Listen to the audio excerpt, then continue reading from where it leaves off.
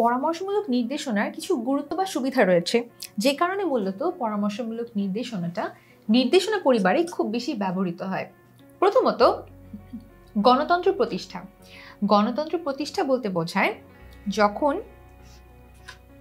পরামর্শটা বাস্তবায়নের কাজ করে থাকে, মূলত বাস্তবায়নের পর্যায়ে কাজ করে থাকে আমাদের কর্মীবৃন্দ।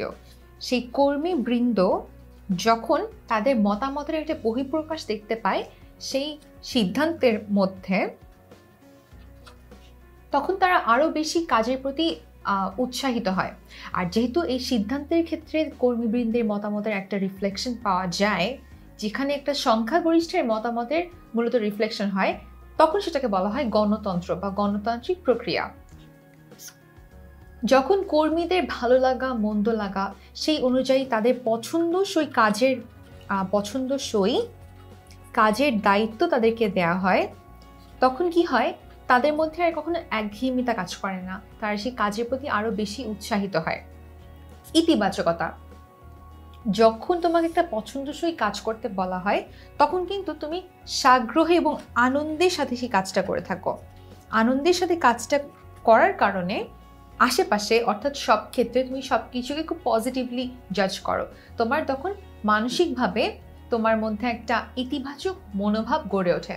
আর এই ইতিবাচক মনোভাব গড়ে ওঠার কারণেই পরামর্শমূলক নির্দেশনা এই ব্যবসায়ের ক্ষেত্রে একটা গুরুত্বপূর্ণ প্রভাবক হিসেবে কাজ করে। আস্থা এবং বিশ্বাস এই দুটো শব্দ হচ্ছে যখন তোমার বস একজন এমপ্লয়িকে এমপ্লয়িকে যে কোনো একটা কাজের জন্য দা, আদেশ করেন সেই কাজটা যদি হয় তার পছন্দের কোনো কাজ, তখন কি হয়? আগ্রহের সাথে সে সেই কাজটা করতে ভালোবাসে এবং এমপ্লয়িটা ধরে নেয়, পরবর্তীতে ভবিষ্যতে যখনই তার বস তাকে কোনো একটা কাজের একটা আদেশ করবেন, সেক্ষেত্রে তার পছন্দের গুরুত্ব দেওয়া হবে। এই যে বসের প্রতি একটা আস্থা গড়ে উঠল, এই আস্থাটা গড়ে ওঠে কখন? পরামর্শমূলক নির্দেশনার ক্ষেত্রে। সম্পর্কের উন্নয়ন। সম্পর্কের উন্নয়ন হয় যখন এমপ্লয়ি আর বসের মধ্যে এই যে বিশ্বাসের সম্পর্কটা গড়ে ওঠে, তখন সব ক্ষেত্রে বস যেরকম এমপ্লয়কে বিশ্বাস করতে পারেন এমপ্লয়েরও কিন্তু ঠিক একইভাবে তার বসের প্রতি একটা আস্থা গড়ে ওঠে।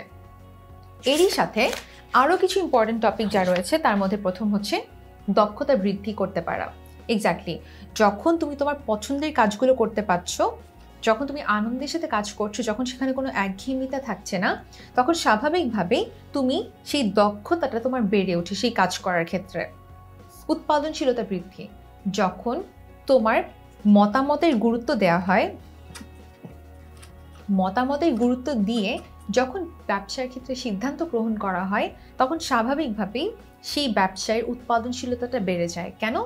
কারণ কর্মীদের মধ্যে একটা ইতিবাচক মনোভাব গড়ে ওঠে। নিয়ন্ত্রণ।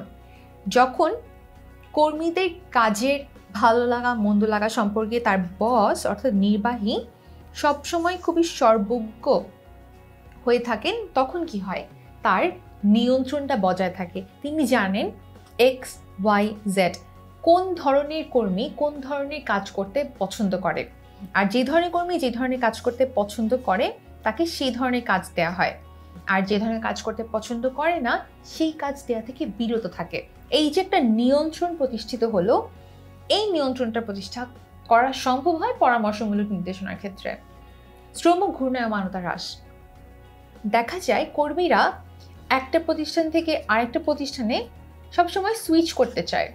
এই যে কর্মীরা একটা প্রতিষ্ঠান থেকে আরেকটা প্রতিষ্ঠান যেতে চায়, এটাকে আমরা বলে থাকি শ্রম ঘূর্ণায়মানতা শ্রম ঘূর্ণায়মানতাটা হ্রাস পায় যখন যে কোনো একটা প্রতিষ্ঠানে এসে কর্মী বুঝতে পারে, এই প্রতিষ্ঠানে তার মতামতের গুরুত্ব দেওয়া হচ্ছে এবং তার কাজের স্বীকৃতি দেওয়া হচ্ছে।